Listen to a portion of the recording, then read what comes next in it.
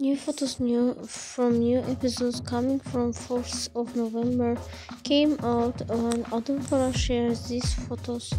We can share these photos with you too. Demet Özdemir's new photos from backstage came out. Demet Özdemir playing for the role of Farah in Adım Farah drama right now. As well, she has many projects in different countries. Her dramas uh, broadcasted in many foreign countries as well in Italy. For her projects, uh, Demet Özdemir is called the best international women actress. As well, Demet Özdemir worked for many advertising projects too.